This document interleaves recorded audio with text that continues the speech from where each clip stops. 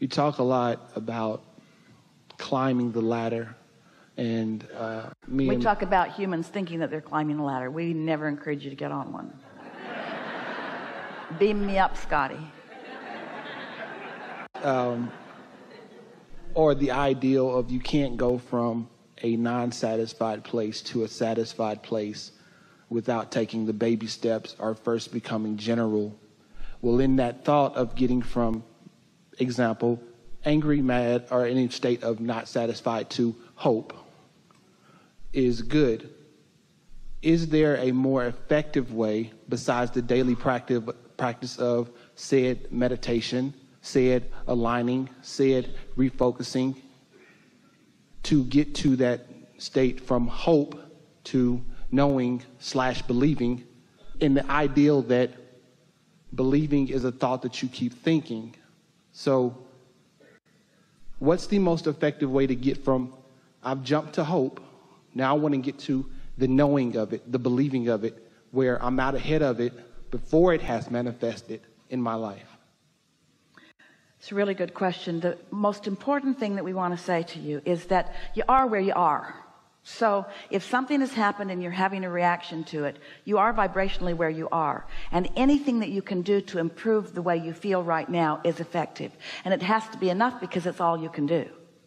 But today we're really emphasizing in this conversation the extraordinary difference between working your way up the emotional scale and quieting your mind and taking a quantum leap over there to where your inner being already is. It's standing back far enough to acknowledge that your inner being is there and that you are your inner being and that you don't have to struggle your way up the emotional scale. If you just let go what are the words that we were offering? Satisfied. Being satisfied with yourself. I'm not mad at myself in this struggle right now. I know I would rather know than just hope. And I sure don't like to have doubt. But when you beat up on yourself about what you don't know then you're not satisfied where you are. And now the gap is a harder one. And so it's just playing with it every day Esther does focus wheels because every day she recognizes a vibration that could be better. And often a focus wheel will take her quickly there especially if she catches it early. But there is nothing that gets her out ahead of it better than waking up and before anything else happens before she visits with someone before she reads her email before she starts receiving texts before she remembers anything from before.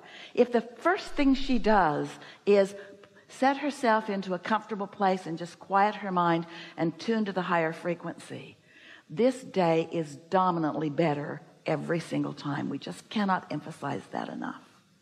Now does that mean that the other tools are irrelevant? No because you can't always go into meditation Sometimes you got to deal with what's coming right at you. Sometimes you need to count to 10 and look for positive aspects in this arena or in this person where there is not one evident positive aspect.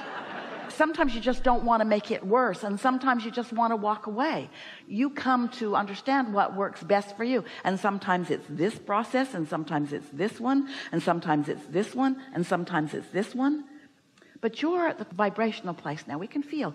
You understand this. You are speaking our words and our processes back to us as well as Esther speaks them out to you. You're understanding this. And so what you're grappling with here a little bit is that you haven't been able to maintain always being tuned in tapped in turned on as if you think that's the way it should be and that's not ever the way it's going to be while you're here in this physical body.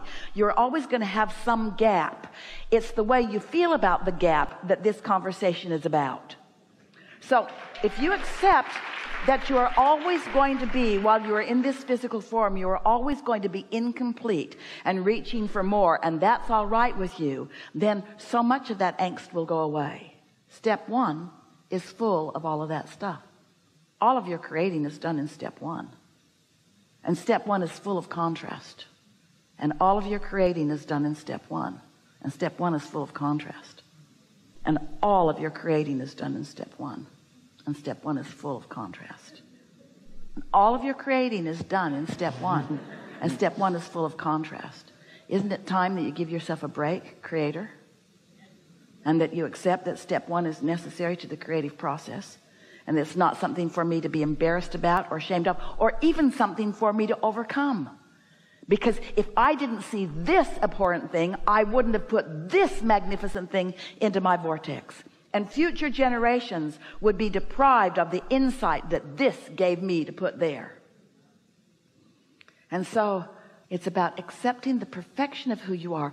Humans for so long no matter what platform you were born into have been taught for a long time to accept your imperfection and to repent for it and to overcome it. And we want you to embrace the contrast that produces the expansion because we are eternal beings.